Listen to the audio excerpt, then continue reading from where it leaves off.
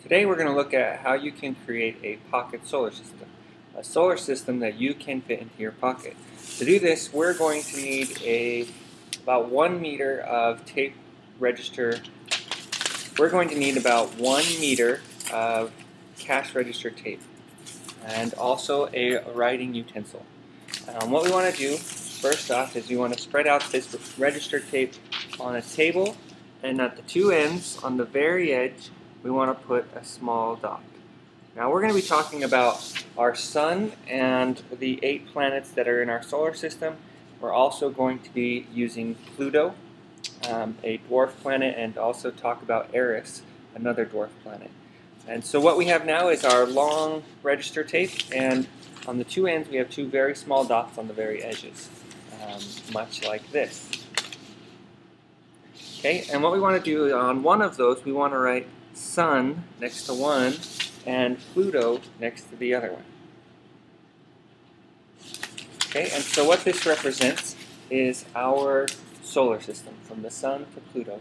And what we're going to do is we're going to then fill in the rest of this register tape and get an idea of where the planets are in our solar system. So the first step we want to do is we want to take the Sun and Pluto and stick them on top of each other and make a crease halfway down our register tape. Okay, once we've made that crease, we can go ahead and open this up and set it back on our table. And we're going to ask the question of what do we think is halfway between the Sun and Pluto? Which planet or which set of objects is halfway? Okay, in reality, it is actually the planet Uranus. Okay, so many people are surprised by that, thinking that Uranus is halfway. Um, Many people will put things like Mars or, or Jupiter halfway. But, and so now what we have is the Sun halfway in between is Uranus, and at the other end is Pluto.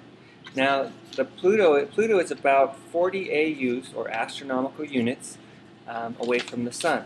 And if you don't remember, an astronomical unit is the distance from the Sun to the Earth, or 93 million miles. And we use that term astronomical units just to help us to um, have a simpler term. It's kind of like we use feet instead of inches, um, but in this case it's more like a measuring stick just for our solar system. And so often people, again, as I said, are surprised that Uranus is halfway between sun, the Sun and Pluto. Um, again, that's 40 AUs away, and Uranus is right about 20 AUs from the Sun. So it is actually halfway. Okay, what we want to do next is we want to stick again the sun on top of Pluto, make our crease again that we made, and then we want to do that a second time. We want to fold from our crease up to where the sun and Pluto are and make another crease. Okay, when we go ahead and open that up, we now have an additional crease halfway between the sun and Uranus and an additional crease between Uranus and Pluto. So let's start with the one between Uranus and Pluto and we think about which planets could be there, and we only have one left, and it's Neptune. Okay, so Neptune goes on our crease between Uranus and Pluto. And again, we just use a very small dot. Um, because if we're shrinking our solar system this much, our planets are going to be very, very, very small. In fact, we wouldn't be able to see most of them. Um, and so our question is, is how far actually is Uranus um, and Pluto and Neptune from the Sun? As we said, Uranus is about 20 AUs, Pluto is about 40, and Neptune is about 30 AUs from the Sun, so right in the middle of those two. Okay, so our next question is, if we're looking between the Sun and Uranus, excuse me, and yeah, the Sun and Uranus, what would be halfway between those? Okay, and again, many people will say it's Jupiter, it's Saturn. Um, it is actually Saturn. Okay, so the next closest planet to the Earth is halfway between the Sun and Uranus. Okay, all right, so now we have the Sun, we have Saturn, Uranus, Neptune, and Pluto all on our piece of tape. Okay, the next thing we want to do is we want to take from the Sun to Saturn, we want to fold that in half. Okay, uh, when we open that back up, we're going to again ask ourselves, what is between halfway between the Sun and Saturn? remembering that Saturn is about 10 AUs from the Sun. Okay? Um, give you a second to think about that. What would be halfway between the Sun and Saturn? Okay, it is actually Jupiter. Okay, Saturn is about 20 AUs away, and Jupiter is about 10 AUs from the Sun. Okay, so again, so many people are surprised at the distances that are between our planets and how far away they are from our Sun. So let's look right here for a minute between our Sun and Jupiter. And we have to ask ourselves, what do we have to fit into this space? We have to fit Mercury, Venus, Earth, Mars, and the asteroid belt, all in this space. While in all of this space, we have fit um, Saturn, Uranus, Neptune, and our dwarf planet Pluto. Okay, so we're looking again uh, at the distances between our planets, how far away they are from each other, and some patterns that we start to see. All right, so let's go ahead and fold from the Sun to Jupiter. Stick those on top of each other and make our crease again. And when we open that back up, we have a crease again halfway between the Sun and Jupiter. We want to ask ourselves what should go on that crease. And I'll give you a minute to think of, of what you think should go there.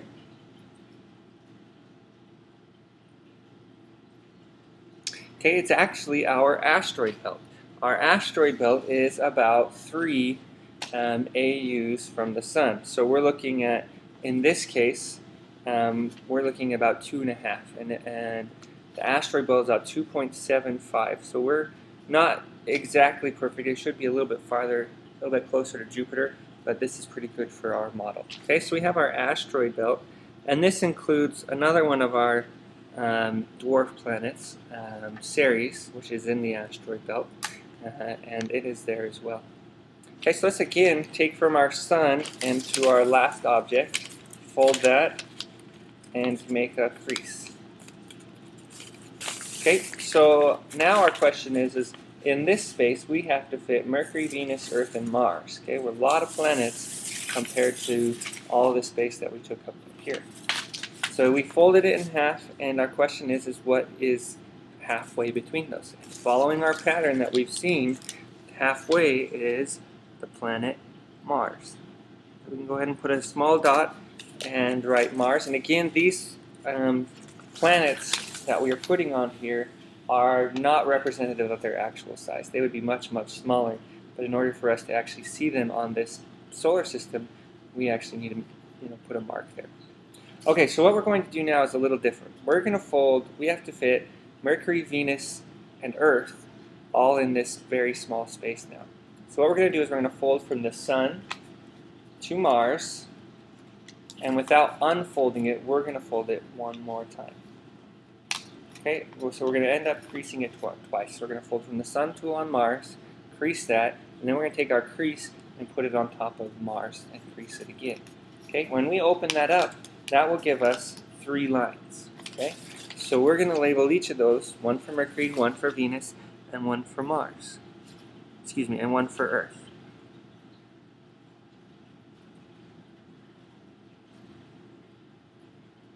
Okay, so now what we have is we've got the Sun, Mercury, Venus, Earth, and Mars very close together um, in comparison to the rest of our planets and near our Sun. And again, as a reminder, Mercury is about 0.4 AUs from the um, from the Sun. Venus is about 0.72 AUs, and obviously Earth is going to be 1 AU. So we can see that what we've got is pretty close um, to that. Mars is 1.5 AUs away. The asteroid belt is um, 2.77 AUs away. Jupiter is 5.2 AUs away. Saturn is 9.54 AUs away. Uranus is uh, 19.2 AUs away. Neptune is 30.2 AUs away and Pluto is 39.5 AUs away. Okay, so we can again pull this out and look, and we can see a very close approximation of where the planets are in our solar system. And we start to see that they aren't evenly spaced in, in any way. Um, our inner planets are very, very close to our sun, while our outer planets are much farther away and there's much more space between them than our inner planets. Okay, in addition to this, we said we'd talk about Eris, another of our dwarf planets. So, so far we've talked about Ceres, Eris, and Pluto in our dwarf planets. Now, Eris is a, a special dwarf planet. At part of its year, um, its orbit around the Sun, it is closer to the Sun than Pluto, but just barely. It's just under that um, 40 AU mark. Um, but in another part of its year, it's much, much farther away. Um, it can be up to, I believe, um, 97 AUs away from the sun at its farthest. And at its closest, it's at 38 AUs. So just inside of Pluto's orbit, but much, much farther away.